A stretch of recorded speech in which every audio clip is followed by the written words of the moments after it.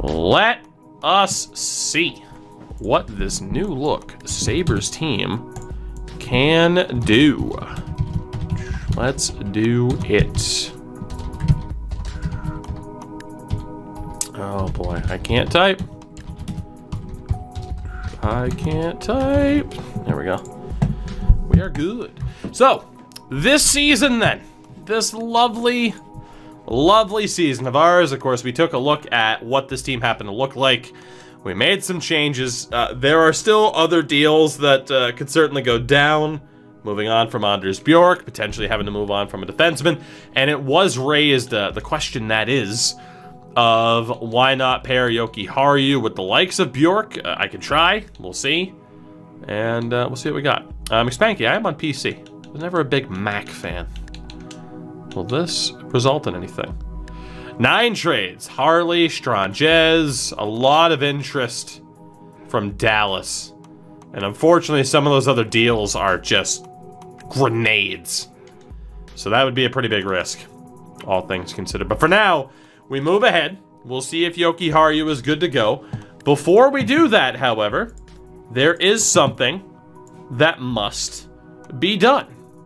And unfortunately, I'm a goof who uh, didn't save the uh, the same wheel that we had before, but we must spin the wheel, go figure, to figure out how many wins we need this season in order to be allowed to sign more scouts.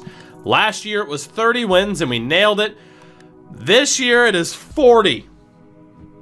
40 wins to earn more scouts. Rest in peace in peace. 40 wins to get more scouts. So our three have our work cut out for them. If we if we don't hit 40, we lose three scouts. No, I, I won't have it be that we lose scouts. It can only be that we gain scouts. Once we get them, we keep them. So we'll send the opening month of the season, and I think you can tell how this year's gonna go. No new scouts for us here in Buffalo.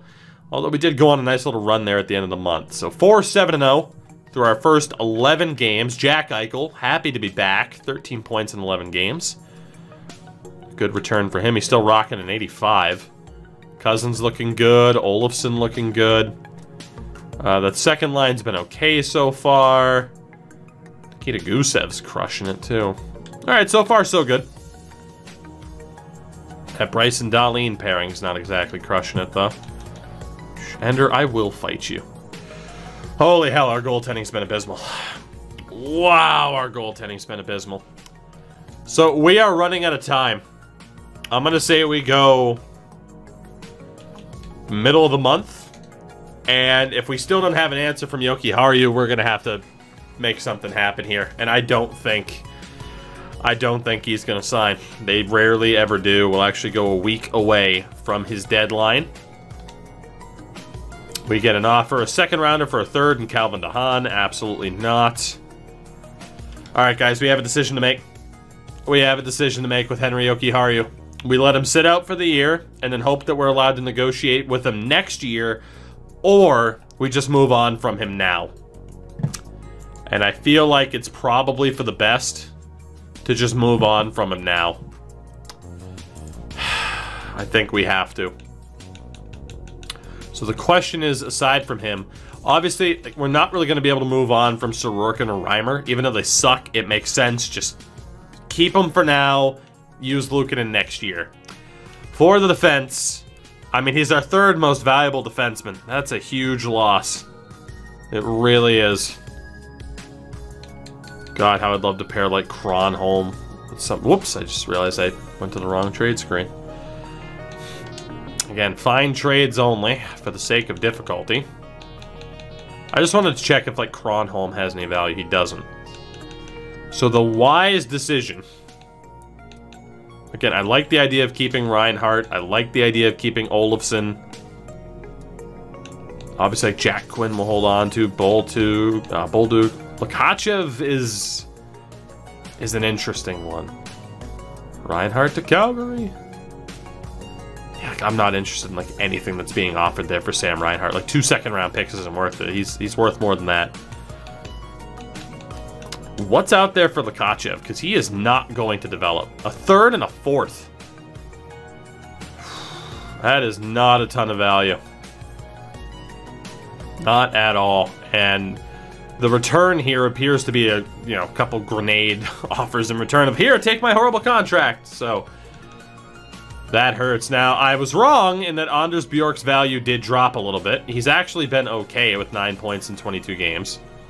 So, that kind of sucks. I'm not surprised that his value dropped. I had to find out, though. I needed to, I needed to wait. Because I was going to pair him in that deal with Jokiharju. But we could pair Lakachev, too. Again, Bjork hasn't been bad on the fourth line. Got Flopik as well. Who's been pretty meh in the AHL.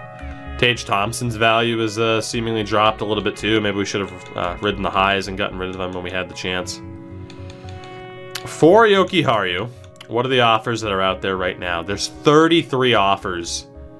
And again, some of them are okay, like the Timmins deal or that Dallas offer, those Dallas offers in general, and some are pretty rough. If we were to add Lakachev to that, I mean, look at that. That's such a bad deal. So, from the looks of it, we're going to hold on to Lakachev here unless we decide to get rid of him in a different deal. I mean, if he can't get us a better offer, then there's no reason to trade Anders Bjork. Yes, there is. Never mind. I stand corrected. I would hate to end up with Ullmark back. Or either one of the three. So there are four offers that suck. Maybe five. Two Edmonton deals and the three Vancouver deals suck. The other 12 offers are fantastic in terms of a really good return. We gotta go for it. As much as I don't want to get rid of Anders Bjork, we gotta go for it. Like I said, he hasn't been bad, but if we can use him and Jokiharju to get it done, we should. It's weird that he resulted in better offers than uh, did, pairing him with him. And obviously, Tage Thompson's a year younger. He could still get better. Just for uh, for the halibut. All right, no offers there. Anders Bjork's got to go. We got to flip him. He's never going to be great. He's been okay this year on a bad team. So, there are 17 offers. I think you guys know how this works by now for how we've been running things here. We will put the numbers 1 through 19 on the wheel, and we, if I can hit the right button, will see what happens in terms of what trade we would have to accept if uh, we elected to go through with the deal. Moment of truth here. 1 through 17. Number 12. If we pull the trigger right now, it's for number 12. Which is Zadorov from Edmonton, a second and a third. We just avoided the other two Edmonton deals involving Ullmark. It's Zadorov, a second and a third for Jokiharju and Bjork. How good is Zadorov? 65 overall at 19 years old. He was 16th overall this year. Two-way forward. I think I think that's a deal we're taking. Again, as much as I'd love to uh, keep Haru, he's just not signing. And out of the dudes that they have on the block, I mean, obviously you could argue Philip Broberg or uh, Lavoie here. Lavoie, Lajoie, whatever the hell it is. But we're, we're doing pretty well here with Zadorov. And Edmonton is a bad team right now, so those picks, granted they're for two, those picks are two years from now though, which is the rough thing. But who knows where Edmonton is at that stage. Jokiharju, we're not allowed to negotiate. He has chosen not to sign, which is a big loss. We needed him to kind of be a part of our, our defense core moving forward. It's either he sits out for the entire year, or we pull off the trigger on this trade. or pull the trigger and uh, get this trade done, I should say. I think I think we do it. Because there's no guarantees even next year he'd want to negotiate, and that's very dangerous for us. Jokiharju, Anders Bjork for Zadorov, a second and a third, both in 2023. We will take that trade. Again, unfortunately, someone just not wanting to sign with Jokiharju. We were left with very limited options. So now we have 10, 11, and 12. Zadorov will obviously be sent down. And from there, I still think it's it's probably worth going with the likes of Girgensons or Okposo. And we'll go with Zemgus for now. Just to try to boost up the morale of the team. Slot him right into the lines that Anders Bjork happened to be playing. And there we go. You could argue Rasmus Asplund would be better suited. Perhaps better suited in the AHL. But he is waiver eligible at this stage, so he'll have to stay. Alright, we are good. Devs, take it easy, man. Catch you later. Let's get Zadorov in down in the AHL. We'll get Philip Schlappick onto that top line. Not bad. So that deal is uh, that deal is done. I tried to trade Jeff Skinner. We are absolutely stuck with that albatross. absolutely stuck. So let's march on then. It's looking like it's going to be a real rough year for us to the surprise of nobody. But let's see how it plays out. Cooper Marody is on waivers. I might as well claim him. So thank you, Edmonton, for that. So basically, you can add Cooper Marody to that trade. It was the three, uh, the prospect, the two picks, and Cooper Marody, which is pretty nice. You know, we basically got a free player in the deal uh, who could take up space, especially if we choose to be active at the deadline. I need to, wow, we just beat Calgary 10 to 2. I need to remember to take Jack Eichel off of the, uh, the block. Uh, there's no way we're taking that trade. I should have just edited the block there, but I'm dumb. I'm used to not having AI trade offers on, and we are in the playoffs right now. 22, 15, and 2. Jack Eichel with 52 points in 39 games. We're actually doing okay. Cooper Marody's a singer. That is a fun fact. Dude, I never use the trade block in games like this because I never... Like, I never bother with the AI trade offers because they're normally so bad. But right now, it's like, I don't want anything. Thank you. Like, right now, I am good to just hold on to what I want. Because normally I don't make deals unless it's, okay, I want something, I'm going to go make a deal. So. That should make Jack Eichel feel a little bit better. So as of January 1st, we're looking good. We need 18 more wins. We've won 8 of our last 10. But 18 more wins to earn ourselves some scouts, which will really raise the question of do we sell at the deadline with the amount of rentals that we brought in. Now, the topic of conversation came up about no movements, no trades, right? I still think I kind of want to factor that in, but none of the guys that we signed as free agents were super high value. Uh, you could argue that maybe for Mike Hoffman, we should have said, hey, he has a no trade because he signed for like four million bucks, right? But he's really the only one, uh, was Hoffman, to say, hey, is there a limitation? Jeff Skinner is uh, up to an 80 overall. So, man, Rasmus Dahlin's looking great. Jack Johnson, look at you. Matt Irwin has 10 goals. God damn. Reimer up to a 903. Ilya Sorokin's been terrible. He's definitely not coming back next year. We'll probably have a complete goaltending change again. So we'll sim two weeks into the month. It'll bring us just before deadline day. As the Winnipeg Jets have fired their head coach.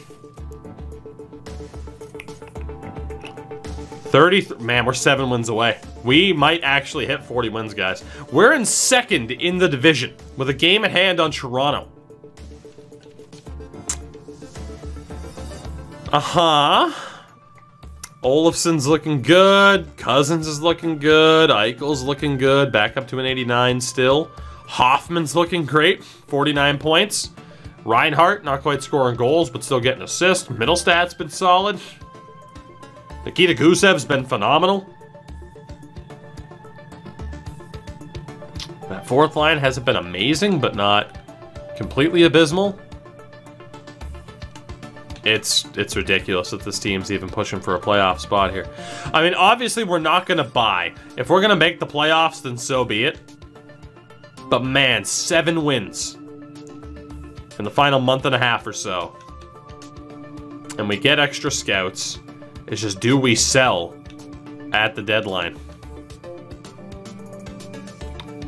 We have to make that call. It is deadline day. Let's say, in theory, I list myself as a seller. We will enter deadline day for the first time in a while. Quinn Hughes is still there as an RFA, which is nuts. So, I mean, the Canucks never signed Quinn Hughes. What would they want for Quinn? I can't get him. There's nothing of value. There's nothing of value that we can do to get Quinn Hughes. I mean, Shea Weber's available, but he's got five years left. Apparently, Eichel's out there, but again, we're not getting rid of Jack Eichel. There's no way. Petry, Tave, Seth Jones. We do have a trade that might have been for Jones or not. The Devils trade a second, Kevin Bahl, a third, and a fourth for Erik Gustafsson. Holy shit. Apparently they're postulating that uh, he's out there too. Let me let me double check here. Let me double check. When it comes to our players, can we get any sort of value here? Ilya Sorokin's been terrible. If we wanted to, we could sell off uh, Sorokin for something. Hoffman, Gusev, and Irwin for the Rangers' first round pick in 2023 and Georgiev.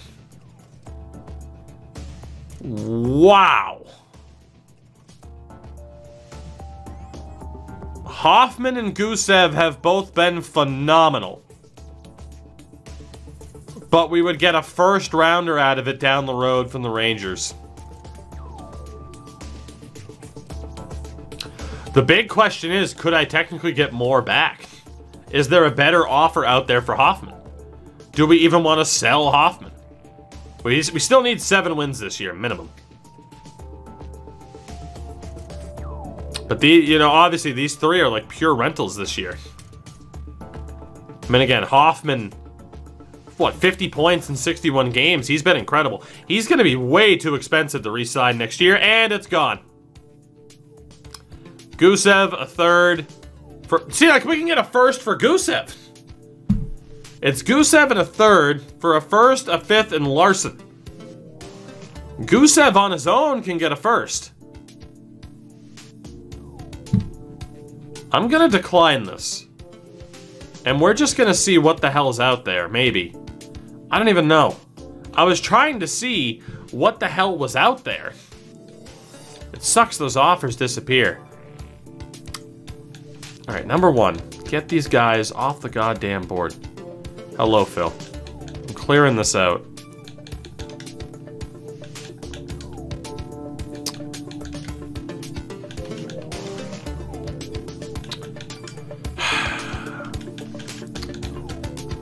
I mean, we probably should sell the dudes on one-year deals. We probably should. I just need to make sure we hit 40 wins. Another trade's out. Linus Ullmark to Nashville for Drake Caggiula and Matt Benning. That seems like very little. Bizarre trade there. Edmonton signed him and didn't even keep him for that long. So if we go to find trade here. I mean, initially for me it was going to be Sorokin. Just to get something for him because he's been horrible. And we could even have Tokarski as the backup for the rest of the year. Luukkonen only has a 905 in the AHL, so he's definitely not ready. What the hell could I get for Sorokin? Apparently nothing now. For the defense...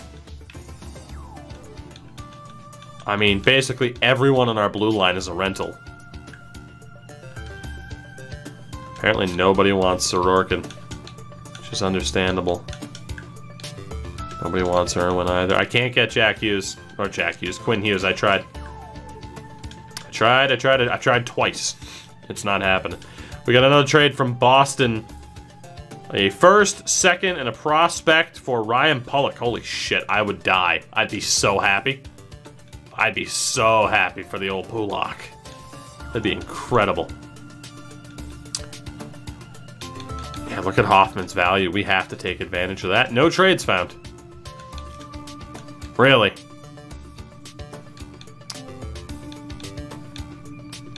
And even Gusev's value has gone up pretty far. Trades of the day. Alright, what we're gonna do is set up the trade block here. Well, no, Sergachev, I'm searching by open block. Trust me, I'm, I'm aware. I'm searching by open block, and still nothing. I think you should have taken the Anaheim trade. Me too, from the looks of it. But I was really thrown off by the fact that the Rangers trade disappeared because I don't think it should have happened.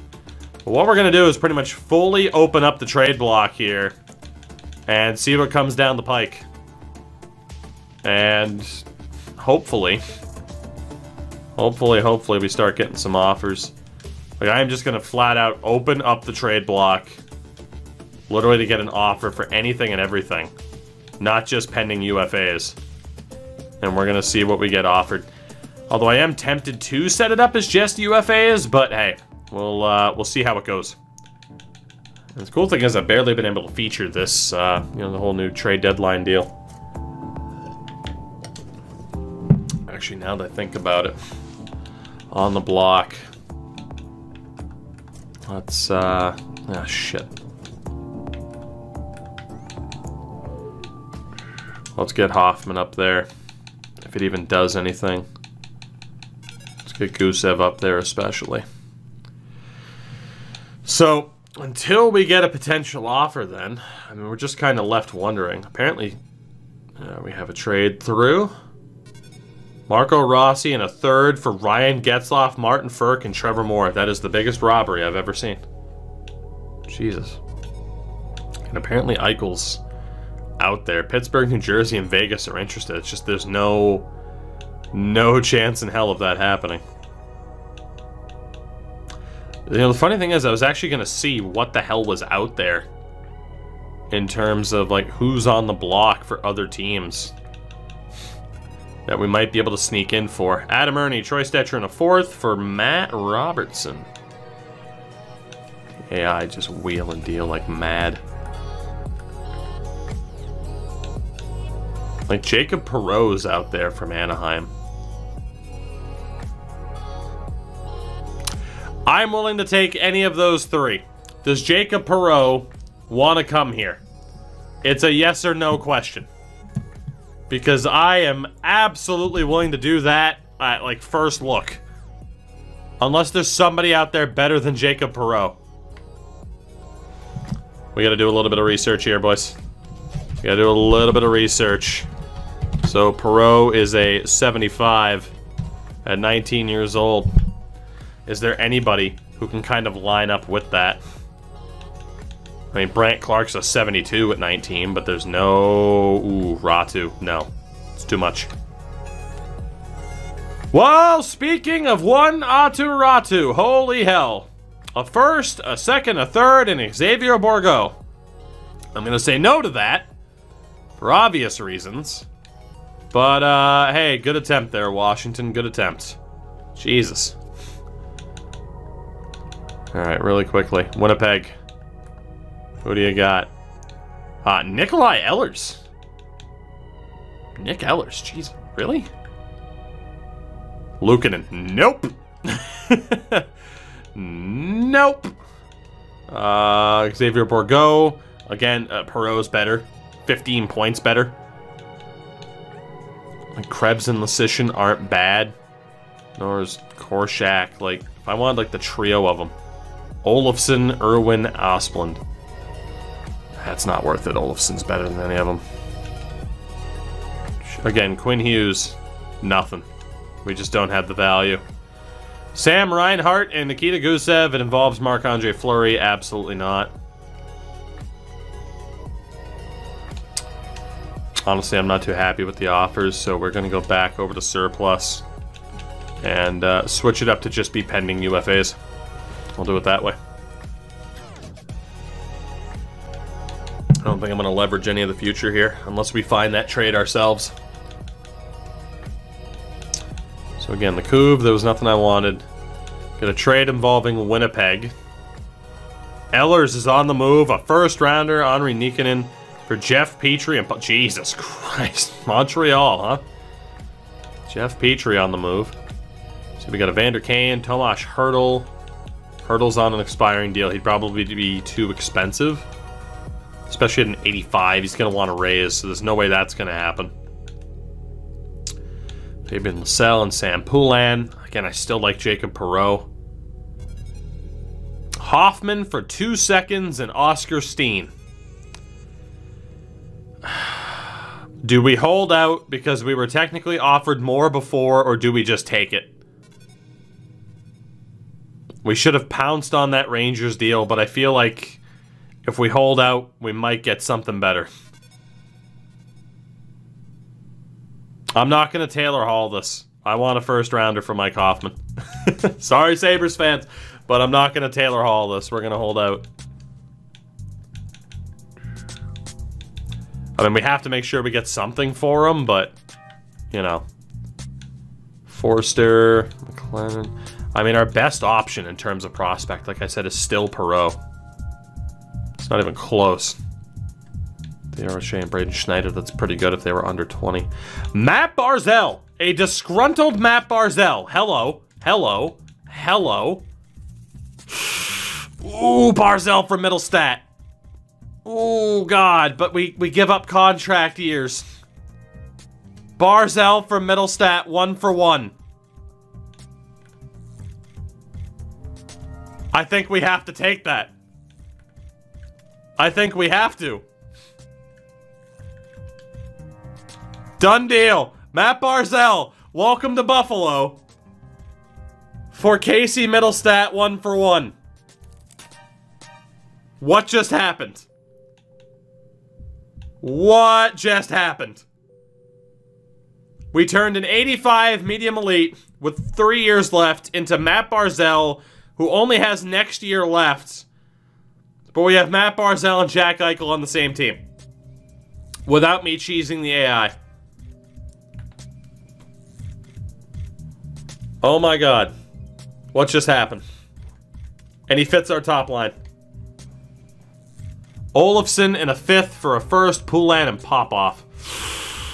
I'm gonna say no to that now. I'm gonna say no to that now. I don't think we could get anybody who's as good as Olofsson. Because I don't think Poulin's good enough to develop at this stage. How good is Sam Poulin? Yeah, he's a 74 at 21. If he was like a 78 or an 80, I'd say yes. I'm not going to take that. If Poulin was a little bit more developed. That is insane. We just absolutely stole Matt Barzal. Holy hell, man. I mean, you see how good Casey Mittelstadt is, and it's pretty ridiculous, but my god. Give me a second here, guys.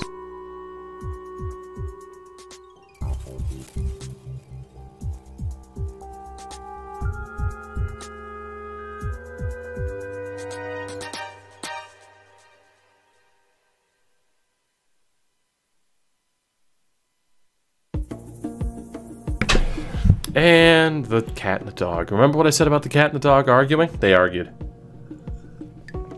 So Casey Mittelstadt is showing up as an 83. And, uh, yeah, we just absolutely stole him.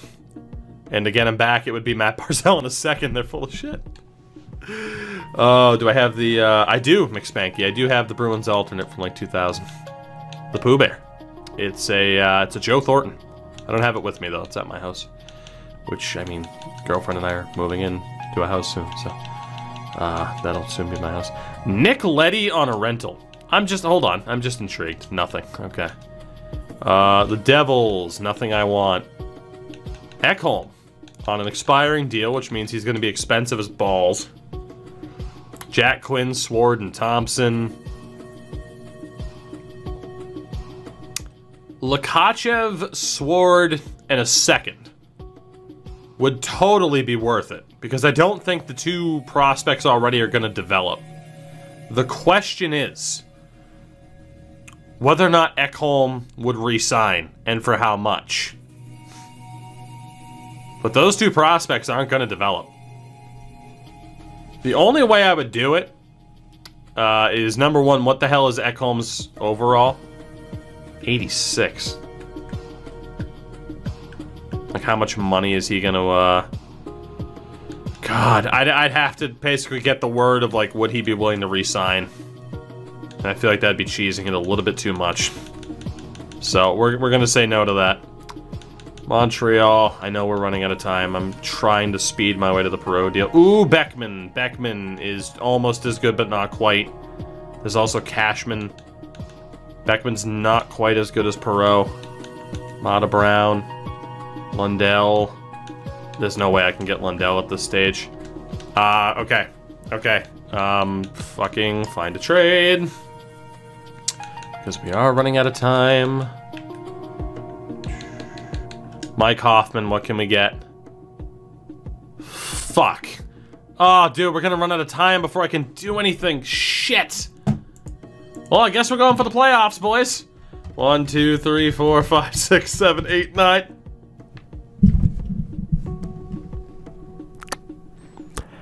Well, we didn't sell Matt Barzal, or we didn't sell Mike Hoffman, or Nikita Gusev, but I did I did trade Casey Mittelstadt for Matt Barzal. So, um... You take the good with the bad, chat. I feel like there was more that could have been done. But you, uh, you take the good with the bad.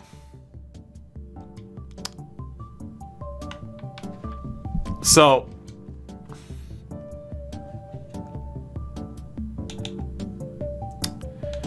Again, if it was up to me, I would have sold Hoffman and Gusev. Instead, we didn't, and we're going to lose him at the end of the year. But we did get Matt Barzal.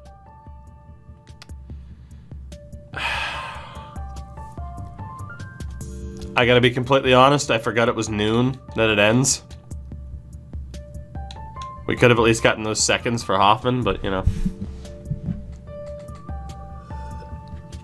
Fuck.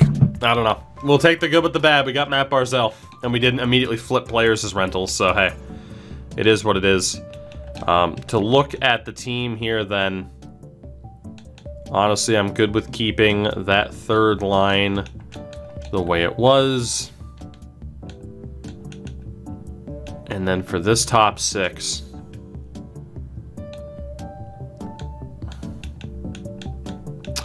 you can make the argument of who should be where. Because, I mean, this top line's crushed it. You know, do you put Barzal with Eichel, or do you leave them on two different lines to just dominate, you know? Barzal's, I mean, imagine a, a one-two punch of Eichel Barzal up the middle. Or even not, I mean, guess Eichel on the wing. Even then, Dylan Cozens as a second line center would be the way to go.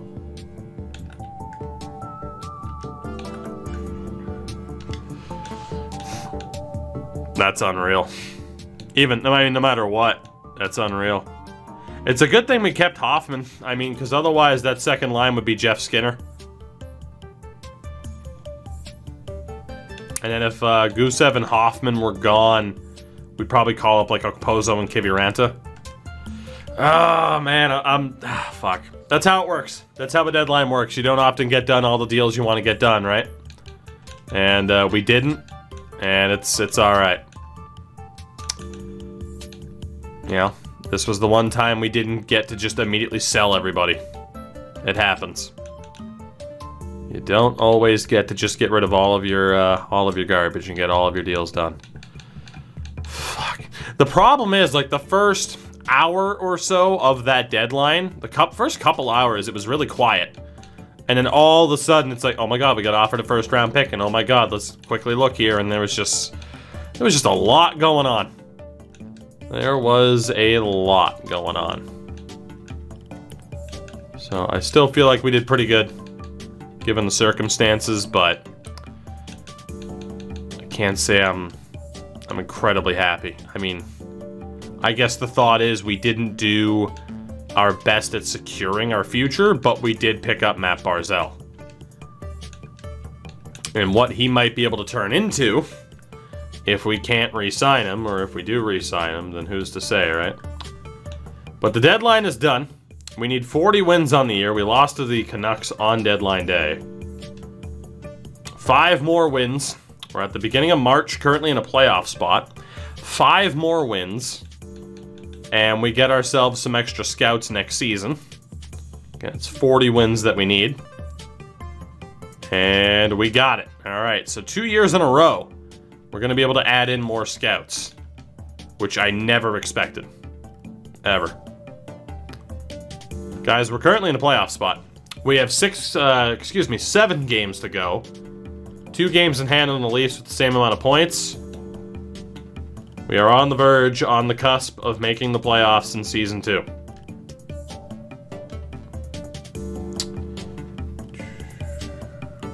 Still right there.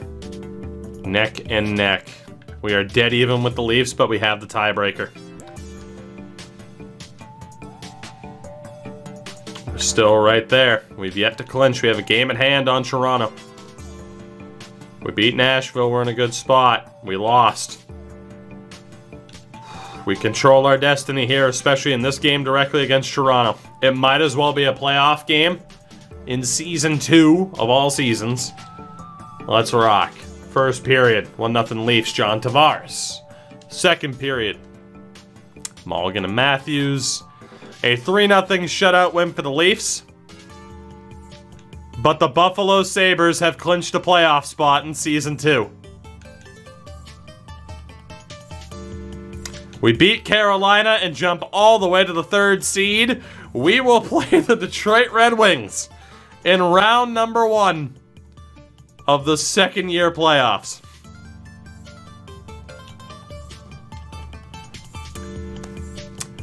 I don't even know, man. I don't even know. Maybe it's a good thing we didn't get rid of Hoffman and Gusev. Although it would have been the best of both worlds if we did, we would have gotten more assets and probably another lottery pick. But now that we made it, I mean, this team could do some serious damage based on this offense.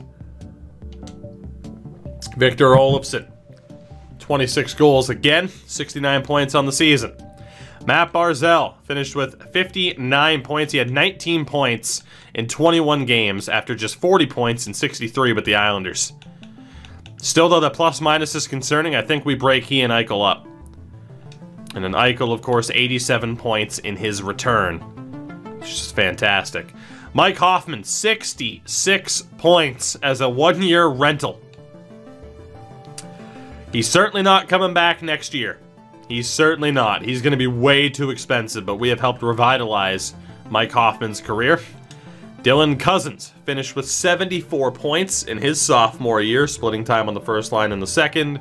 And Sam Reinhart with 69 points this year, up from the 64 he had last year. Again, I just can't help but think it's the right way to go. I'm going to put Cozens as our top line center. I want to see how Eichel and Barzal do apart. I know that Barzal was you know, putting up points, but the plus minus was pretty concerning, the 5 on 5 defense. Third line, Tage Thompson with a solid 30 points on the third line. Can't complain about that at all. FJ, what's up, man? Uh, next to Nikita Gusev on the power play, who put up 56 points as well as a one year rental. So Nikita Gusev uh, will certainly be gone next year as well. And Jeff Skinner, up to an 82, had 35 points and 21 the goals. man was a fanboy. Chris, good morning to you. Thank you for the 22 months. You'll love to see it. Uh, no, the plus minus was outright here. It's a split stat line. He was a minus 29 uh, with the Islanders, a minus 7 here. So. And on the fourth line, whoops, Rasmus Asplund, 19 points. Eh. Might send him down for Okposo. Cody Eakin, eh. And Zemgus Girgensons was actually good offensively. I'm a little bit worried about that fourth line, but we don't roll it out all that often. The defense. That's right. This defense made the playoffs. It's beautiful. Rasmus Dahlin, 56 points. Crazy, crazy, crazy. And Jacob Bryson with 14 and a minus one. Jack Johnson, 19 points on the year. Alongside one Matt Irwin, who put up 15 goals. We almost traded him at the deadline there, too. Rock the throwback. What is going on? Welcome to the stream. Welcome to the home of dumb franchise things. Very dumb franchise things. Artem Zub, 15 points, and Yannick Weber with 20. So, I don't know how the hell we did it, guys, but we did it. We made the playoffs. Ilya Sorokin at a 900 save percentage, as well as James Reimer. We'll rock with Reimer in the playoffs. And, of course, no healthy scratches. We kept injuries off. I feel like we might. So I'm still torn. I mean, again, we picked up Barzal at the deadline for Casey Mittelstadt. The deal was one for one. But, like, the just the loss of, you know, potential assets from not trading our rentals like Hoffman and Gusev, it, it hurts a bit for sure. So I'm a little bit torn. But again, we have uh, we have made the playoffs. That's the dumbest thing in the world. We needed 40 wins. We got 45.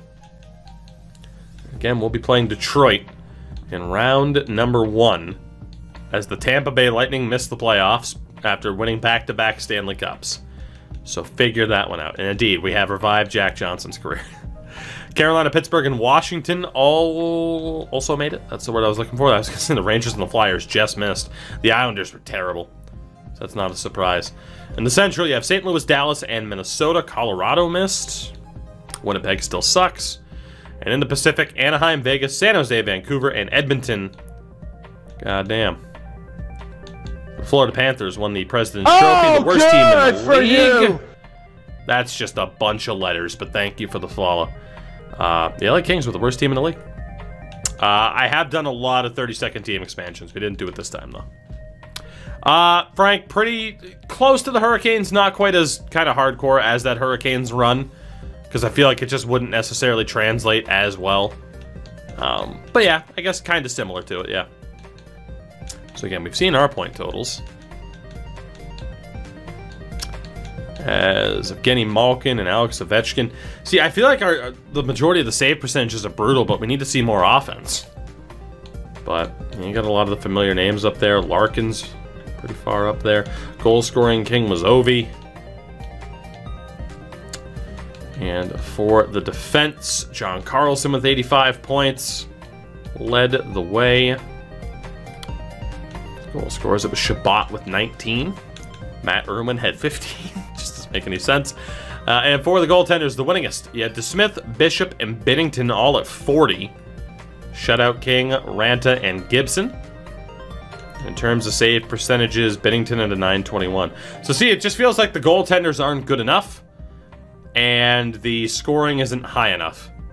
So there's just there's no there's no great balance here. I would say.